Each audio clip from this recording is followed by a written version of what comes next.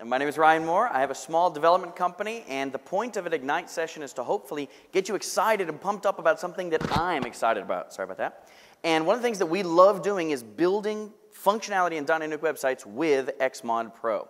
Xmod Pro is from DNN Dev. You'll find it at dnndev.com. And uh, basically, we've been building websites for a long time with Nuke, and in the past, you had a couple of options. You either went to the store site and you bought modules and hoped you could customize those, or you'd spend weeks and build your own custom .NET uh, modules. But we like to tell you that there's a third option, which is being able to build uh, custom functionality through Xmod Pro. The main thing about Xmod Pro is that you do not have to be a developer to use it. You don't have to use uh, or know .NET. You're building with simple syntax and simple structure. Um, you may have seen us around. We've uh, been giving out these uh, orange shirts. We'll talk about some more of the ones that we're going to give away in just a little while.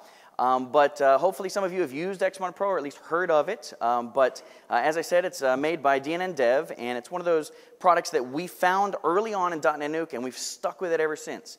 You'll find that uh, DNN uh, designers love using it. What's worse than skinning something and having a module that you don't have control over and you can't control the way it looks? Um, you can control everything with Xmod Pro with the things you build. We consider ourselves integrators. We love using it.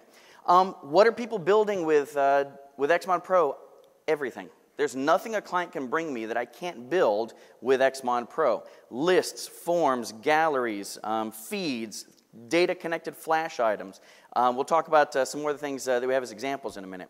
Um, how do you work in Xmod Pro? You work with HTML, CSS, jQuery, simple syntax, XML, and data tokens of Xmod Pro. You work in three types of things forms, templates, and feeds. Forms, uh, we have a, uh, an example of a quick form builder wizard that allows you, if you have your data already set up, to in about five seconds, maybe six seconds, take your data, make a form, you're done. Or you can build it by, by hand with code. But either way, you have all of the form elements that you'd expect to have. Uh, you've got drop down lists, multi selects, uh, dual list, uh, um, HTML module. You've got all the standard trappings. You can build your own. If you want to roll your own custom .NET form uh, element, you can do that with custom controls. Uh, the second item is templates. Templates allow you to display your data. Think of it as your record set that's being returned back. So this is loops, this is record lists of items, this is clicking and going to a detail level of a page uh, of content, and you put that together in um, code.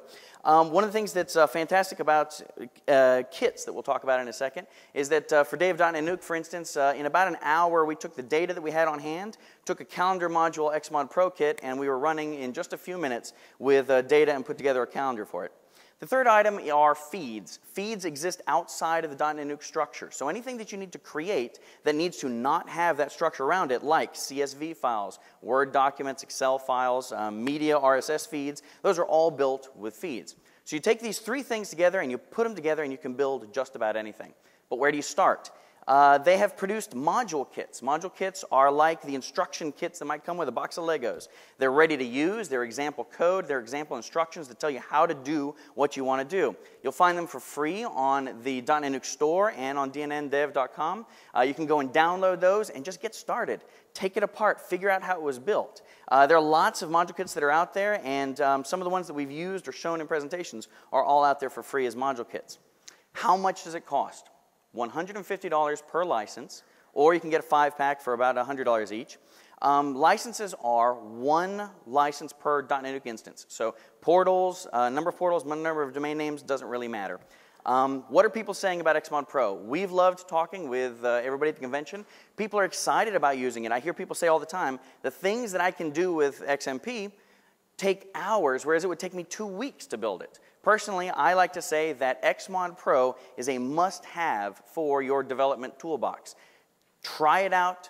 Trust me, I think you'll believe me afterwards that uh, it's a quick way to get through rapid development without having to know .NET, without having to roll, compile, and prepare your modules. It's a foundation for you to work on top of.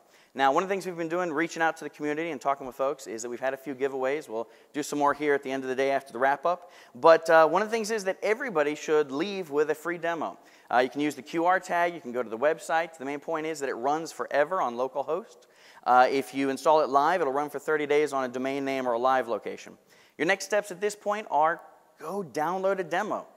Go download some module kits so you can start playing around with it. But as the slogan for Xmod Pro is, your next point to go to is go build something. Thank you.